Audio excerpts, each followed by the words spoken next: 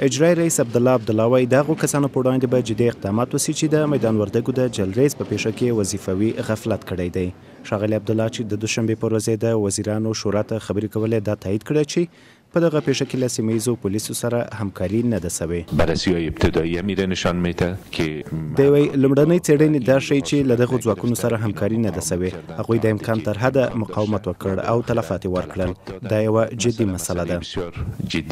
نوموړي په دې اړه د ټاکل شوي پلاوي خبره وکړه او په وینا یې تر پلټنو وروسته به دا موضوع نوره هم روښانه شي. په همدې حال کې ولسمشر محمد اشرف غني ویلي چې دغه حمله به بې ځوابه پاته نه شي. د جمهورریاست په یو بیان کې راغلي چې ولسمشر غني یو پلاوی ټاکلی څو د دغې پیښې عوامل په دقت سره معلوم او د نتیجې په اړه جمهور ریاست ته راپور ورکړي. د میدان وردګو په جلریز ولسوالۍ کې د سیمه ییزو پولیسو شاوخوا دېرش سرتیري د پنجشنبې په شپه د وسله والو طالبانو په حمله کې ووژل شول.